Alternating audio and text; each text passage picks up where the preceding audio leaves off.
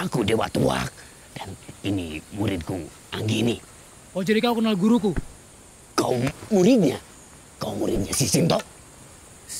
Siapa namamu anak muda? Aku Wiro. Sableng. Muridnya Sableng, gurunya Gendeng. Eh,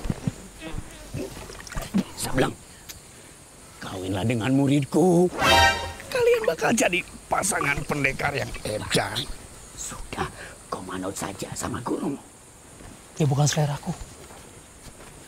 Oi, Dia pikir dia yang paling hebat. Siapa juga yang minta dengan kamu? kau tuli.